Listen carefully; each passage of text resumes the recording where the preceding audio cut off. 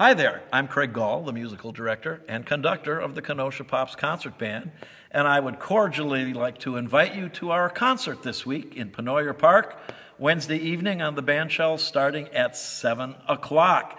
This week's theme is space, so you're going to hear music from Star Wars, from Star Trek.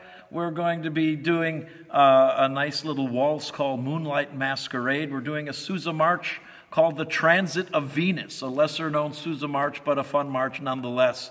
We're also going to be celebrating Juneteenth with a couple of selections uh, from the African American community that will help us to commemorate that holiday, which is Wednesday. Um, we are going to be playing music from the landmark miniseries Roots.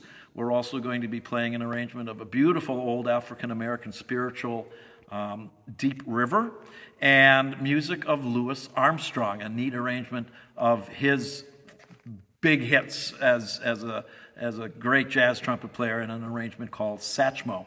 Uh, special guests are going to be starting at 6.15 in the form of the Lighthouse Brigade Band.